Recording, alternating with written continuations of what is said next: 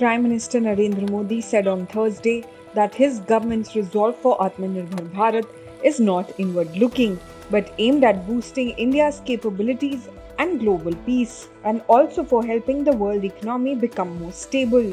Wooing private players, he asserted that the import embargo on a number of defense equipment is not only aimed at curbing imports but also giving a boost to the domestic industry.